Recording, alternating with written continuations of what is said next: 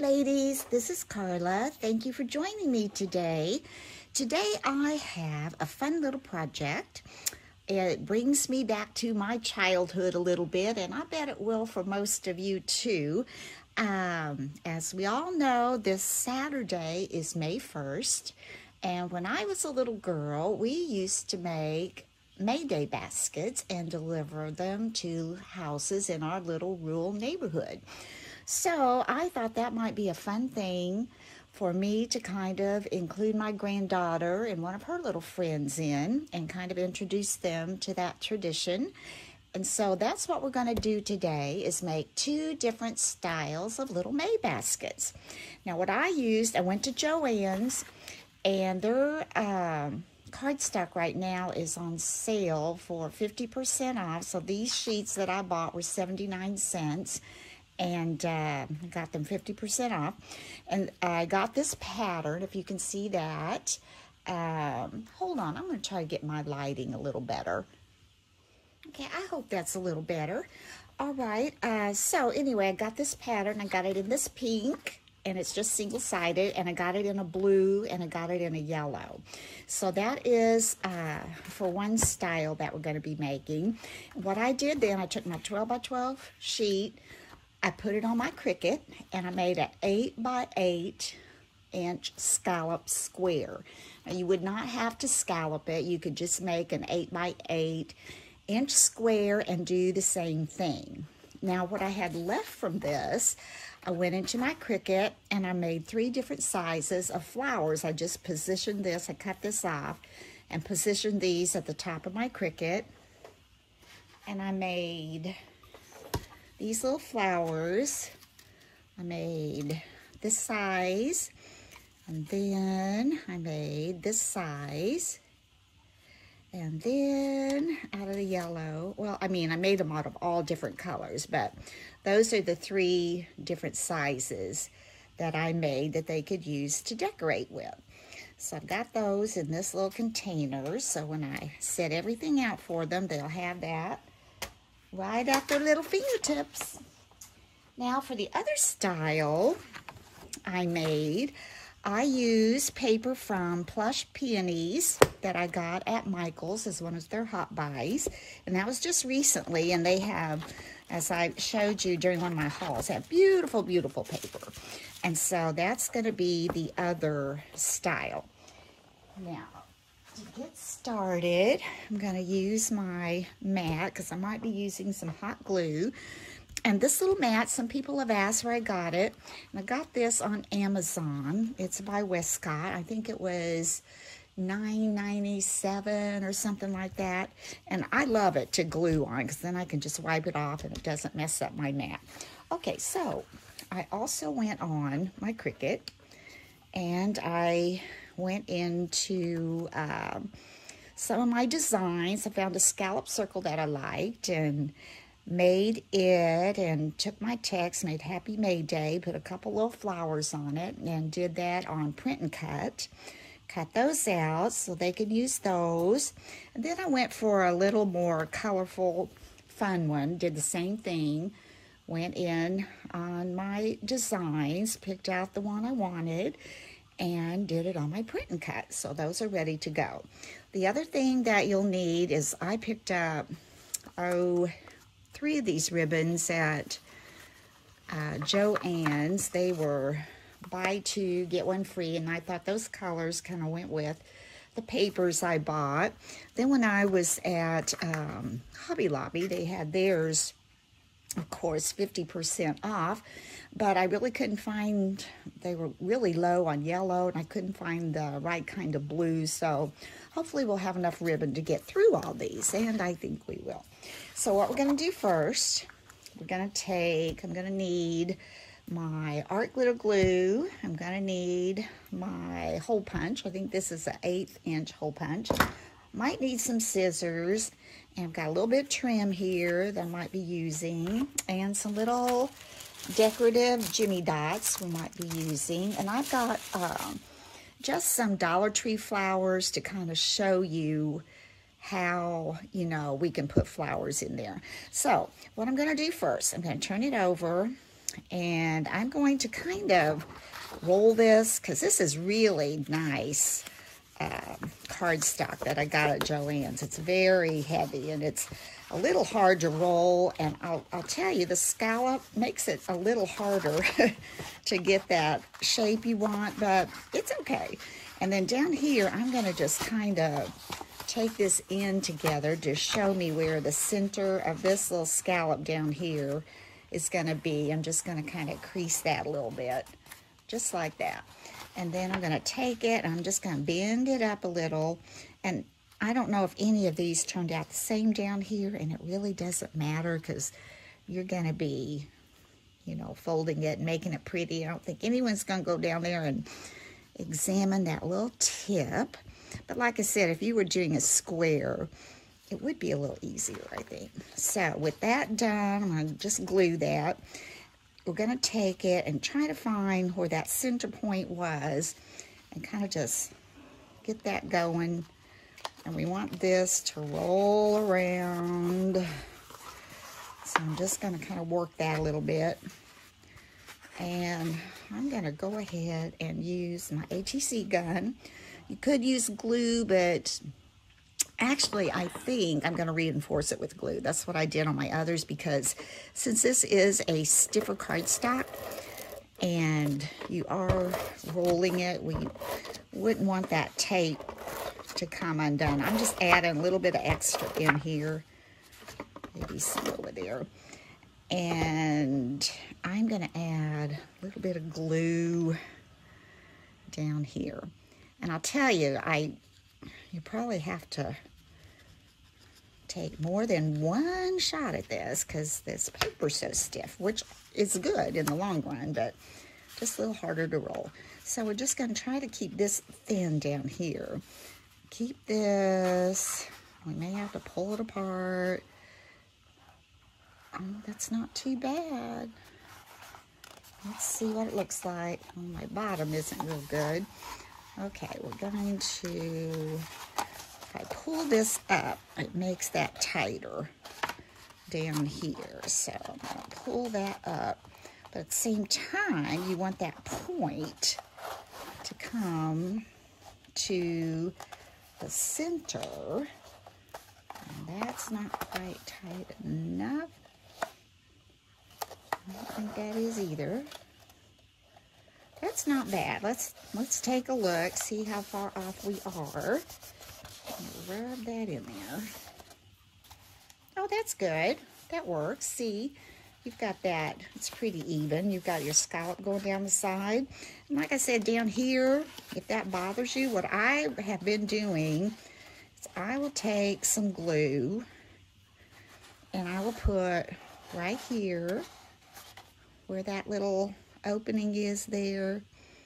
If it's not as tight as you want. And then I just take a clothespin. You can tell they're glued together. There we go. I just take a clothespin. Oops, get that back in there. Kind of fold that over. And we're just going to clamp that down like so. Grab a cloth.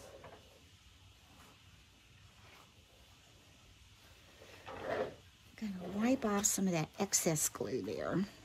There. Now we're just to roll that around. And there, that looks great, don't you think? And now for this one, I'm to go ahead, while that's kind of drying that way, I'm to take my eighth inch punch. I'm to come in here. I'm to come down probably on this. Here's the top, one, two, top, one, two. Go down to that third scallop. Come in there. I want it to go in pretty good. Punch that. And punch this.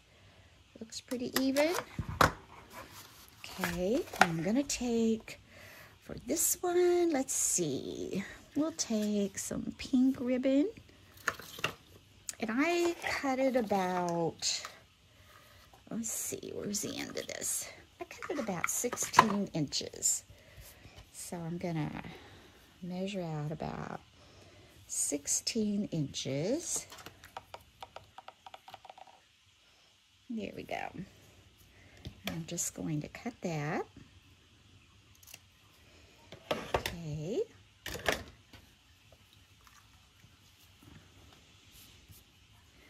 And then I'm gonna take the point, right here where I have my hole, I'm just gonna tie it stick that little point in there. Pull that through. And I'm going to make a knot on the outside of it. I'm to pull that up, give myself just enough room so I can tie a knot. I'm not going to pull it real tight because I want that to be what holds the ribbon and keeps it from going through. So that will be on the outside, just like so. And then we're going to take this. You kind of want to watch a little bit so it doesn't get twisted. But if it would, that would be okay too. I'm to take that point again, poke it through that hole, and pull it through. We're going to make another knot toward the end here.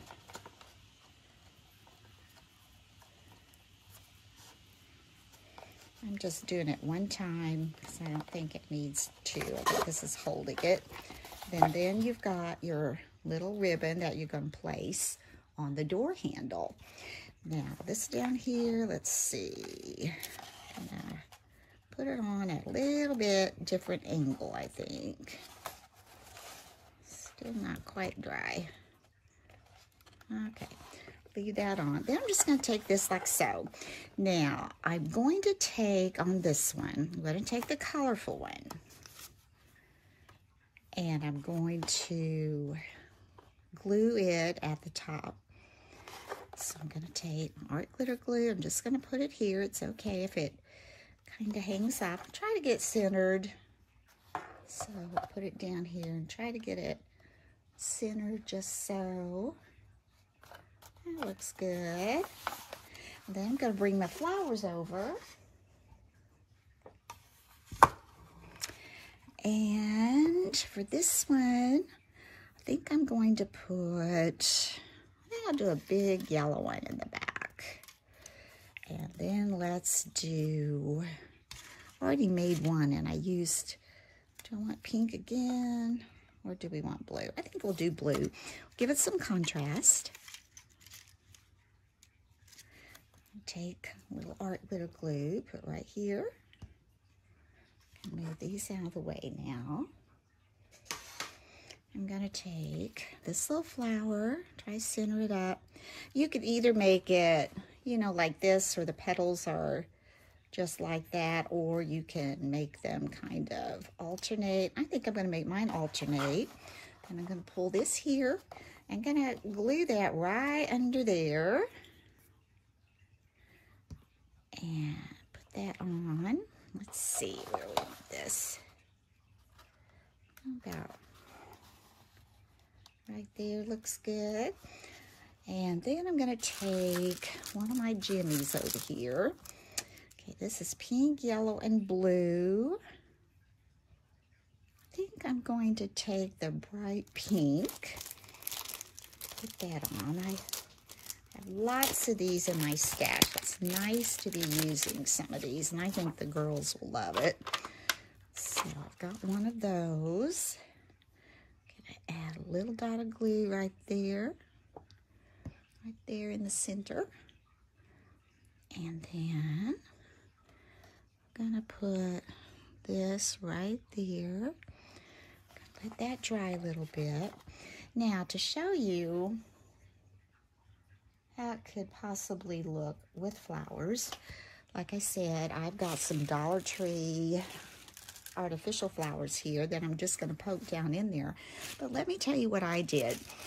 Um, I called a local nursery here, and they have a floor shop and a little boutique in their nursery.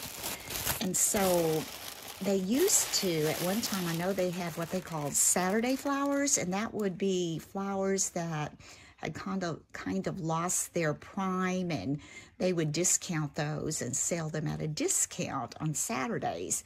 So I called them and he said, right now, he really didn't have any, but he was so nice. He said he was going to put a bucket out because I told him what they were for. And I said, you know, we have quite a few. I think we have like 17 little uh, baskets to do. And I told him that, you know, I, I really couldn't afford to buy enough flowers to put in all of those. And so, you know, I'd be willing to buy some that were a little past their prime at a discount if he had any. And he was so nice. He said he was going to put a bucket out and any that he came across that he didn't think looked, you know, good enough for his um, arrangements or whatever, he would just put in that bucket and Friday I can come over and pick out what I want. So that sounded like a good deal to me. And I know also we have Walmart and sometimes they have, you know, those bouquets that are not that expensive and sometimes you can get quite a few in there but when i went to my walmart uh, yesterday all of those were cleared out but i figured maybe they were getting ready to get some fresh ones in for mother's day so i don't know that for sure but maybe that's what's going on okay, i'm going to take this off again and if i have to put it back on there that's not a problem I think I am because I'm not satisfied with that. But I'm going to take a little bit of tissue to fill down in here. I'm going to put tissue in there, just like so. And then I have these flowers. Like I said, I had gotten at Dollar Tree. And I just keep vases of these in my crafting area. They look pretty. And then if I need flowers for anything, you know, I've already got them right there. And, you know, you could do these if you didn't have real flowers or didn't have access. I know when I was a little girl, we made ours. Um, we used to get strawberries. I don't know if they still put them in that. They were little green plastic basket looking things.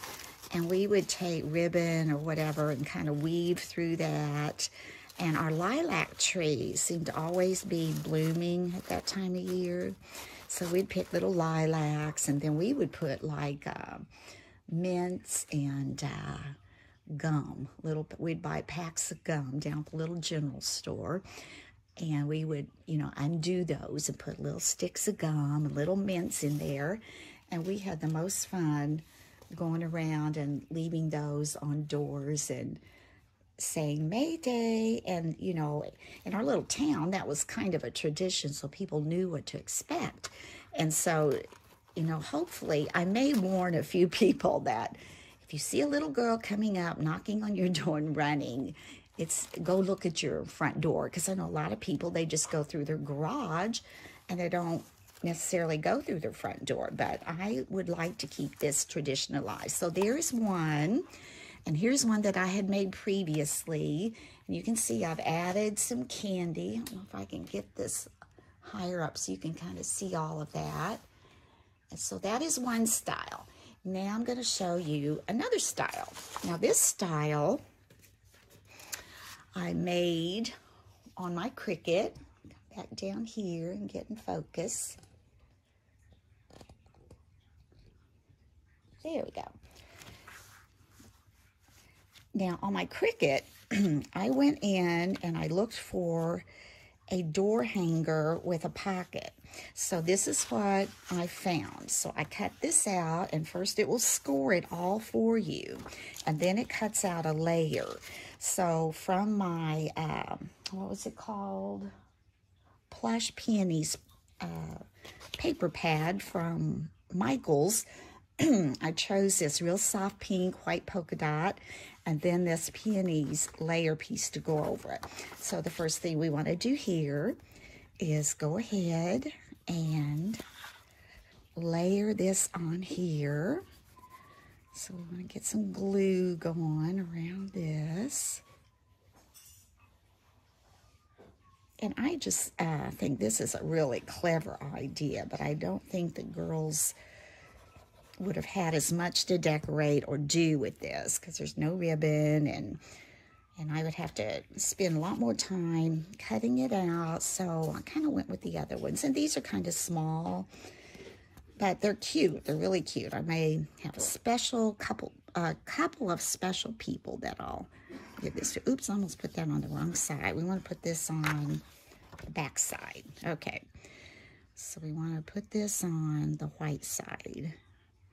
If you had double-sided paper, that would be great. And you want to place it right around those edges and right around these score lines. I don't know if you can see those, but it scores this. It's kind of a pillow box type of a pocket on there. So we've got that. And now I want to fold this score line here. And this was a little tricky getting this folded all, I'm going to say. So I'm going to fold it like this first and see if we can kind of get these going just in that score line. If we get them going, you know, we can always flip them the other way. So this one, not quite. Let's get it up in there a little bit.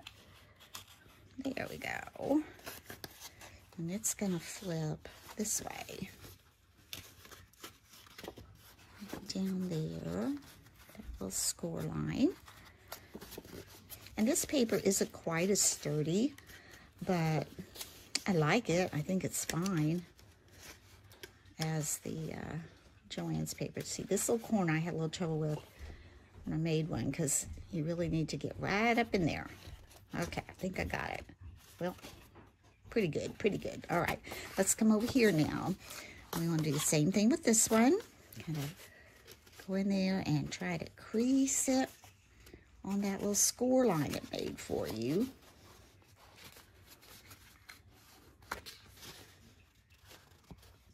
And it's looking pretty good. If we keep it right up here where that needs to be kind of perfect. okay, now let's see what happens if we fold this. We fit this together. Oh, I'm liking it. That looks pretty good. Before we do that, I think we want to go ahead and glue this down. And I'm going to use, um, no, I think I'll just go ahead and use, I said I was going to use score tape, but I think this is fine.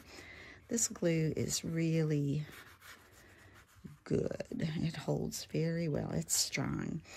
So I'm going to fold this. I'm going to want that one to go like that. So we're going to just take this, kind of fit that in there. We want this little fold to fit right up in here where this is folded. Get right up in there.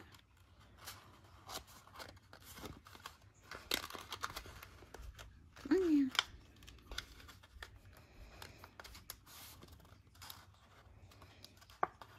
And if it's not totally stuck down there in that corner, I think it'll be okay.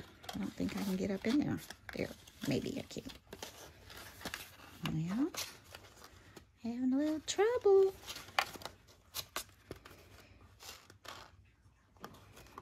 So that. I'm gonna take bone folder maybe. Let's get this stuck that's there. If I can get this stuck, I can go in there and manipulate that little corner a little bit. Let's just hold this on there a minute, like so.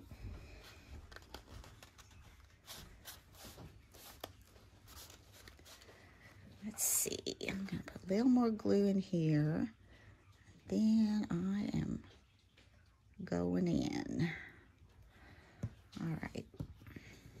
I'm gonna have to hold this so I can see where I'm going here. Okay.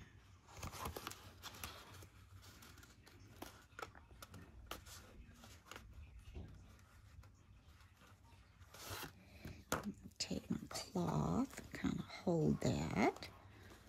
So how many of you did Mayday baskets when you were growing up? I'd be curious to know if you could leave that in my comment section. Just think, you know, we're losing some of our little traditions and just ways, you know, to show people you care. Glue on my fingers. I'm going to come, see if this will fold out. Got that one in there. Pretty good. You can see that's in there pretty good. Now I'm just going to add glue hmm, to this one.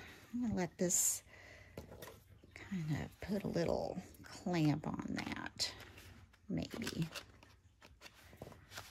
No, I don't think I can do that the way it's set up there. But it's okay. Let's go ahead and we're going to get glue on this little flap right here.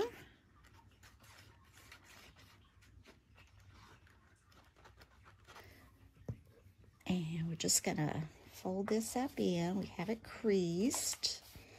And if it doesn't want to go all the way up in there, we can take a bone folder or something and go down in there to get that to stick. But this is the back side. I think it will be fine.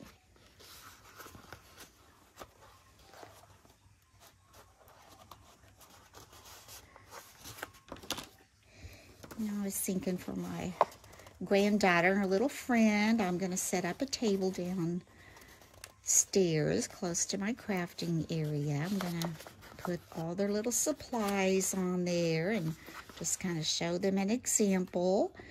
And then I'm just going to turn them loose. I'm going to put some little snacks down there, after school snacks. And take pictures of them and might even make them a little May Day memory book. When you're making memories, if you don't capture, capture them, they're gone. And they grow so fast. Okay, I think I'm satisfied with that.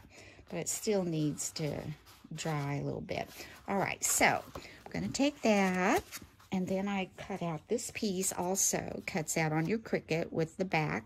So I'm going to take some glue and adhere this. Okay,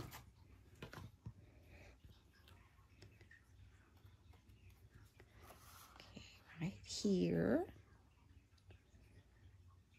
You know, I'm not sure I made my lighting better or worse because I hope this is not real dark. Okay, let's add that on. I need to move that over a little bit. Come on, here we go. Just a little bit over.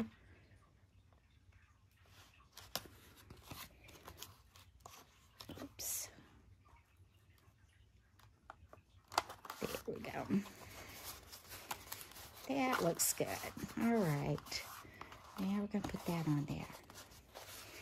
And next thing we want to do is I'm going to take a piece of this trim.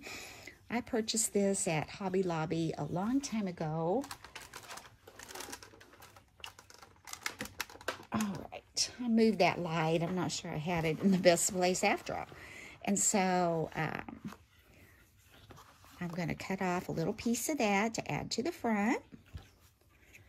And here we go here. Excuse me.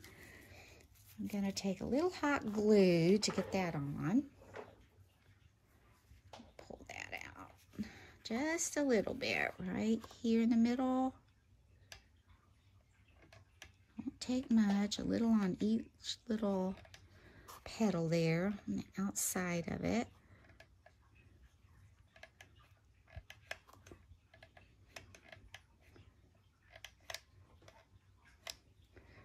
Okay, I'll try get that centered.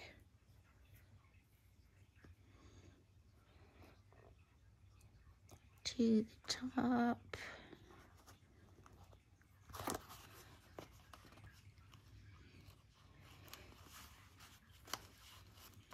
Mm-hmm. Looks pretty good. Pretty, pretty. And this is a little rosette that I had received in a swap. And I just think it's darling. And it was from Kathy's Creative Crafts and More. And it's just darling. So I'm going to take that and I had made this bow. And I'm going to attach the bow to that and I'm attach it on top of that. So add a little hot glue. Add my little bow down there straight as I can. And then I'm going to attach that to the center of my little rose in here.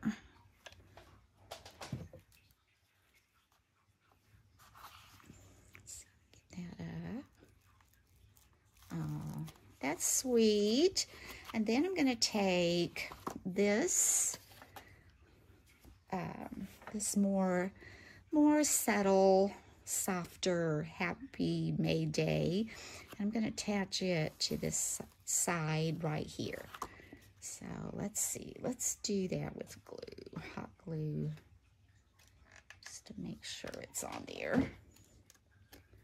I'm going to take that. I'm going to put that kind of at an angle in there. And then I think I may take, let's see, I've got some little pearl jimmies here. I like these hot pink ones better, I think. And,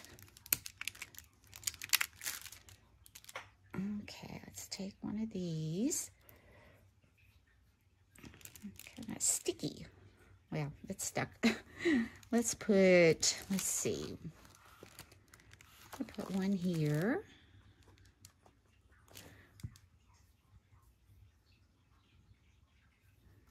Right like that. And I might put another one on the side, kind of right here.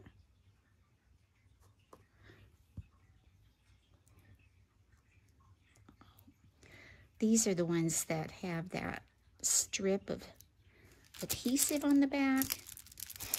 But, uh, oh, they're a real booger to tear apart, so I usually just take them off of that and glue them on. Okay, we'll put two there. That's pretty. I was going to put two down here, but I don't think it really needs it. I think we'll just do that. Okay, so what I would do with that then is put the flowers in the candy. Now here's one that I've already made. And raise this up a little bit. You can see those maybe a little better. Some light over here. There, maybe. So here's one that I had already made.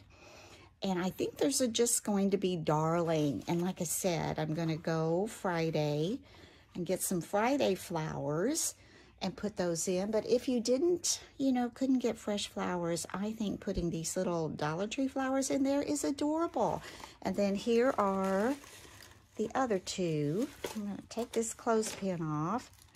And that's pretty good down there now. So here are the other two. So I hope you've enjoyed this tutorial. And if you used to do this but haven't done it for a while, how fun would this be for, you know, a, a granddaughter, a daughter, or just you, you know, just to bring back some of those traditions that we just don't have anymore. So anyway, this Saturday will be May Day, and hopefully we're supposed to have really nice weather we're going to get out and wish all of our neighbors a happy May Day. Hope you've enjoyed this tutorial. If you have not had a chance to subscribe, I would appreciate your subscription. And until next time, bye-bye.